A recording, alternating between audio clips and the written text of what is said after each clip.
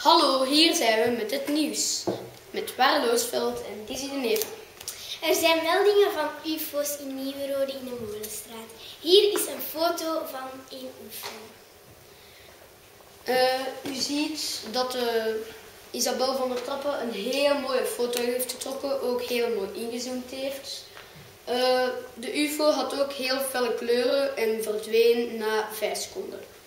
Oké. We gaan naar de fotografe van mevrouw van der Trappen live bij de UFO.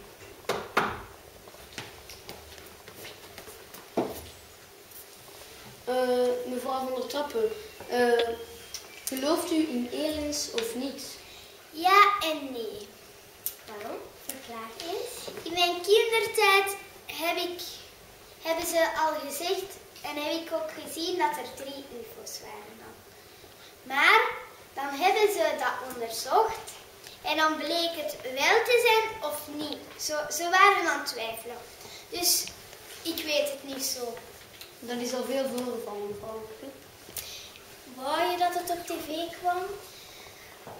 Eigenlijk niet. En waarom?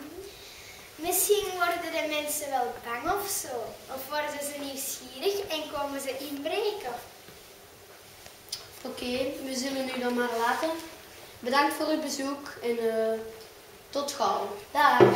Dag meneer en mevrouw van het nieuws. Dit was het nieuws en tot de volgende. Wij zien u graag weer. Tot morgen. Dag. Dag.